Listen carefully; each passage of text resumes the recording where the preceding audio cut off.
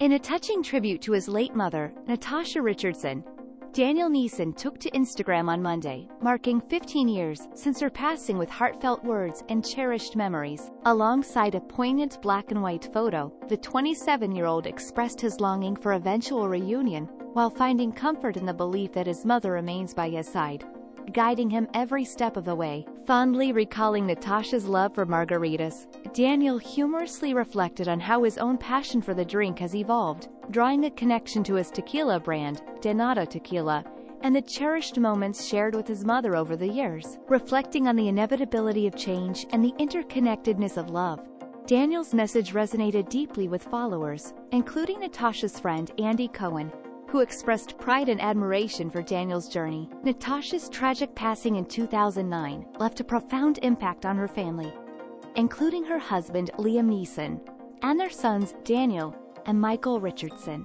Liam has spoken candidly about navigating life after Natasha's death, acknowledging the support and love of family and friends that helped him through the darkest times. As Daniel's poignant tribute illuminates, Natasha's spirit continues to inspire and guide those she loved, leaving an enduring legacy of love and resilience.